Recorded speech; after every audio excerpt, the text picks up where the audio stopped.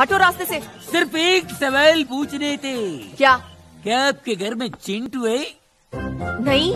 बस। मेरे को एक मौका देंगे। चिंटू हो जाएँगे।